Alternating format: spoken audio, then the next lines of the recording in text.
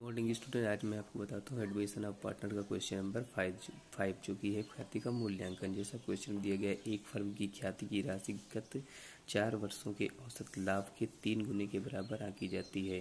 ख्याति की राशि ज्ञात कीजिए। जबकि गत चार वर्षों के लाभ इस प्रकार हैं। प्रथम वर्ष का लाभ है रुपीज़ फाइव थाउज़ेंड उसके बाद द्वितीय वर्ष की हानि है फाइव हंड्रेड तृतीय वर्ष का लाभ है थ्री थाउज़ेंड और चतुर्थ वर्ष की मतलब फोर्थ चौथे साल की हानि है फिफ्टीन हंड्रेड रुपीज़ इसको लगाने के लिए सिर्फ़ छोटा सा क्वेश्चन है, कुछ करने की आवश्यकता नहीं है। यहाँ आप लिखेंगे टोटल प्रॉफिट सबको ऐड कर लेंगे।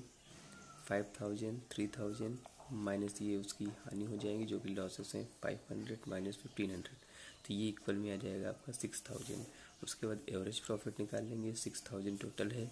अपान में चार साल, चार वर्ष का है तो उसको फोर ईयर्स लिख देंगे, उससे भी डिवाइड मार देंगे डिवाइड कर देंगे तो वो आ जाएगा आपका फिफ्टीन हंड्रेड फिर उसके बाद goodwill equal to average into three क्योंकि तीन सालों के लिए है तो इसके लिए इक्वल लगा देंगे तो एवरेज आपका है फिफ्टीन हंड्रेड इंटू कर देंगे थ्री से तो वो आ जाएगा आपको फोर्टी फाइव हंड्रेड फिर से समझ लीजिए टोटल प्रॉफिट पहले लिखेंगे five thousand plus three thousand इनको ऐड कर देंगे, फिर माइनस क्या क्या करना है, जैसे फाइव हंड्रेड माइनस कर देंगे, फिर उसके बाद फिफ्टीन हंड्रेड माइनस कर देंगे। तो चाहे इन दोनों को जोड़ के कर लेना हो, चाहे ऐसे ही कर लेना तो वो आ जाएगा आपका सिक्स थाउज़ेंड।